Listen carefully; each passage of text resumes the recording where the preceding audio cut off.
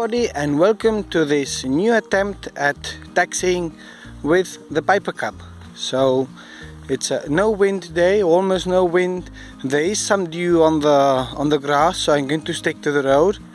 And uh, if you remember, if you haven't seen it, you can check it. Last time it didn't go too well. One wheel fell off. I put it back on.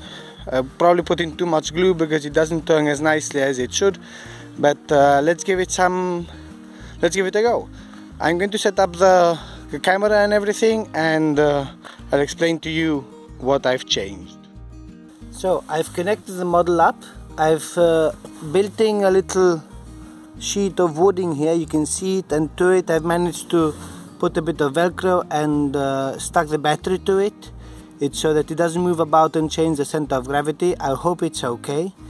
Also, more importantly, I've uh, adjusted the rates I think it's called. So I'm going to show you so this is the normal rate the maximum rate let's see if you can see it.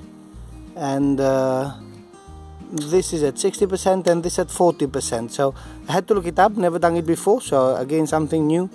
Um, also for the elevator again this is maximum 60% 40% so I'm going to go with a 60% kind of the middle position and I'm going to see if I can control it in flight or actually not in flight actually still taxiing and see if there's any way that this uh, can actually taxi straight in one way or another. The rudder I've left maximum because as I don't have a a tail wheel that steers then I have left maximum rudder there the full rudder. So I hope I'm gentle enough with it that it doesn't that it doesn't turn too much right? So so let me set up the other camera and let's see how this goes. And I don't know if you can see it but there's actually a cloud rolling in a very low cloud so early early mist. Um, so the tissue is getting a little bit wet already so I hope it's nothing too serious. I still struggle with directional control. I'm going to see if I can put in more more power and uh, right rudder right? Like with the big ones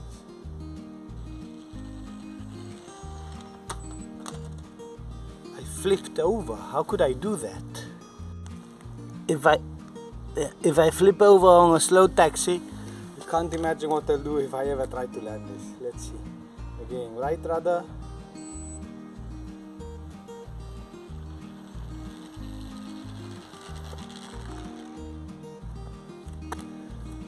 Oh well, we'll keep trying.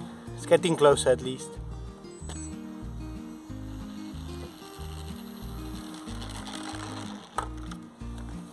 Well, that was more promising, wasn't it?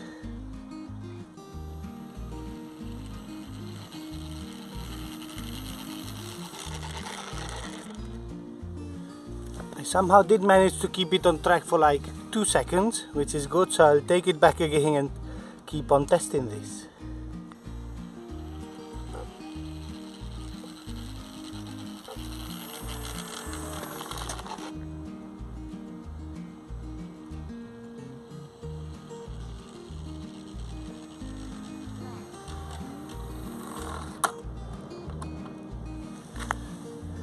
That last run wasn't bad at all. Of course, with speed and there's more control on the rudder, it's somehow fun to see how the wheel deformates when it turns tightly and it gets a side loading.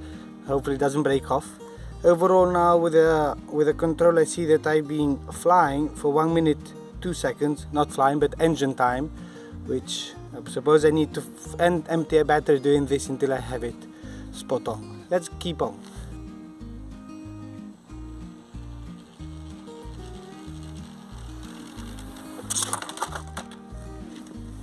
That was a bit of a bump, but it was going fast already, I could almost control it.